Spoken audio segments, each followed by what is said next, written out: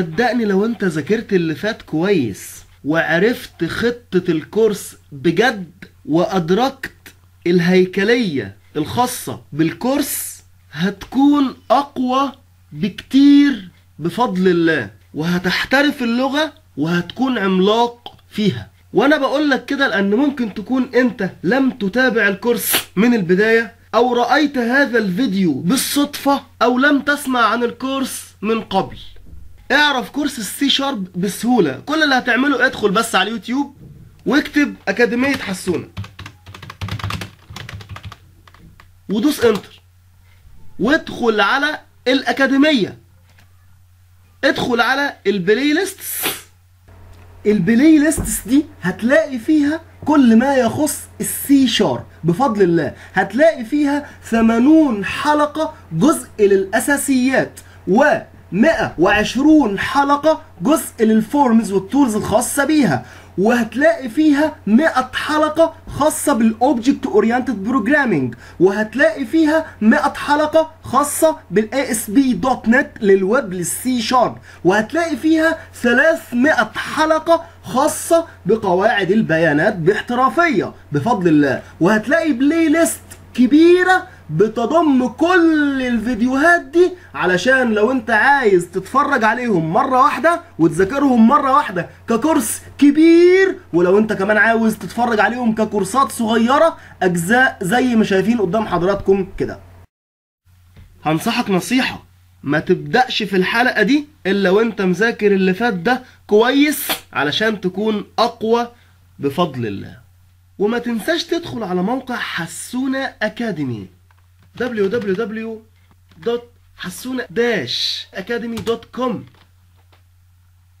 وتدخل على انضم إلينا وتدخل على إنشاء حساب وتسجل عندنا عشان نعرفك وتتابع كل جديد على الموقع سواء كورسات أو حاجات في الشاشة الرئيسية أو تحديثات للموقع. بسم الله الرحمن الرحيم. الحلقة 1126 من كورس سي شارب. دي اكزامبل سبورت ودلوقتي بفضل الله هنبدأ نشغل تقرير المندوب. خلصناه ظبطناه عملنا الجدول عملنا التقرير عاوزين نشغل تقرير المندوب. إن report delegate double click عليه. لسه ما عملناش ال method خلاص نروح ل class ام ونيجي هنا. هنعمل public static public static void run report delegate. وقوسين هنستقبل منك data table هنسميه table ال table ده بيساوي null بشكل افتراضي.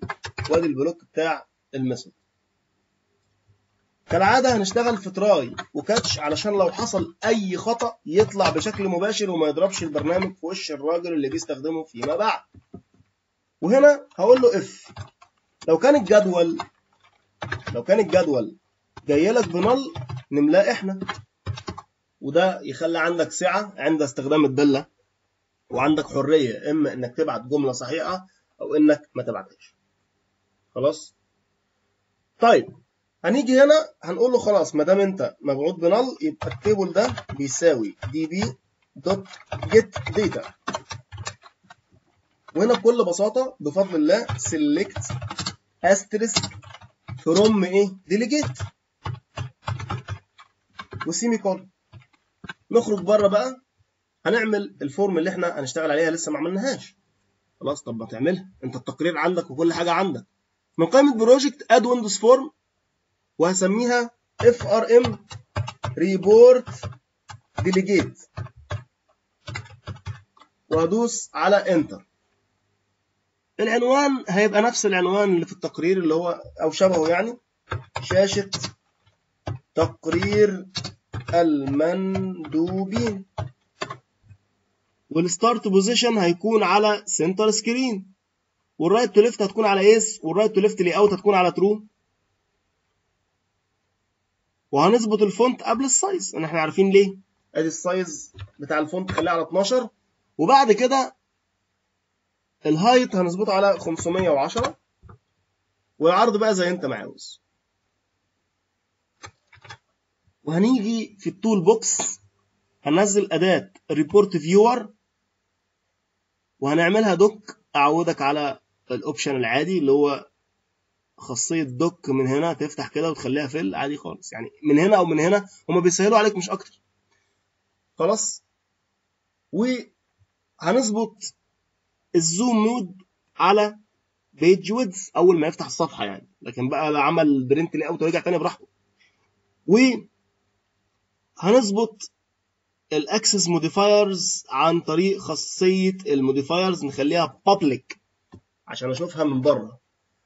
وبعد كده افتح هنا واختار choose report اختار ال report اللي هو delegate اهو delegate اخترناه كده خلاص.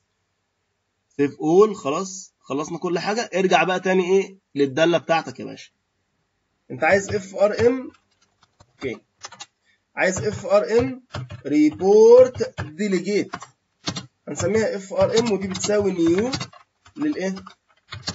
ل FRM delegate وقوسين فاضيين و semi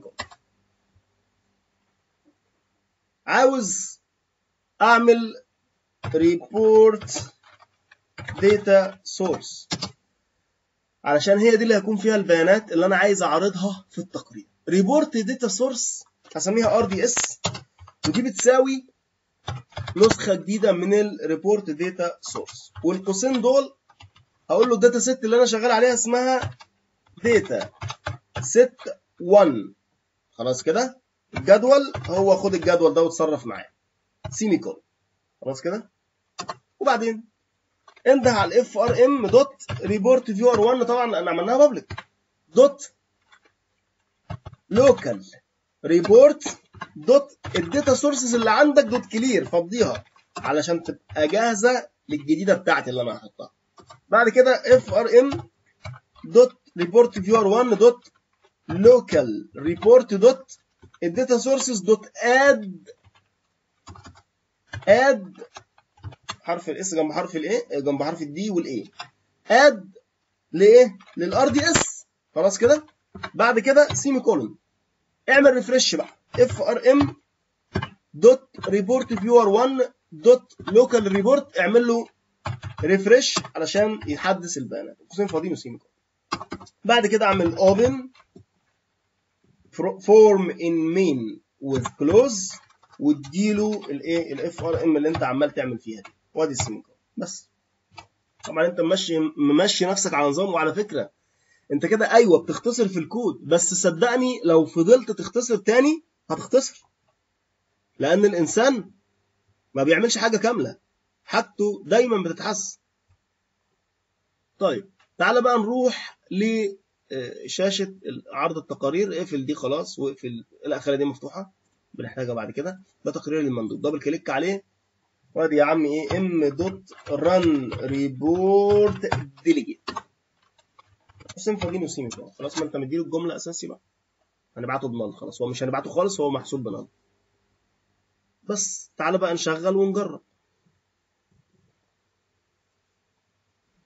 هعمل تسجيل دخول أهو. هروح على قائمة تقارير وهفتح تقارير الأساس. فين تقرير المندوب أهو؟ هدوس عليه كده ونشوف. اهو تقرير المندوبين. اهو رقم المندوب اسم المندوب عنوان المندوب. اهو دي المناديب اللي عندك أهي. لو عملت لي اوت علشان تطمن على الحجم أهو زي الفل. تمام؟ ده كده بفضل الله تم الانتهاء من تقرير المندوب بالكامل. بفضل الله. الاشتراك واللايك والشير والمشاهدة أكبر دعم لينا. بفضل الله عشان نستمر ونقدم لكم كل جديد. وتأكد تماما إنك أي حاجة بتتعلمها وبتنشرها وبتشارك ربنا سبحانه وتعالى هيفيدك ويعلمك أكثر وهتاخد ثواب على كل حاجة بتنشرها للناس.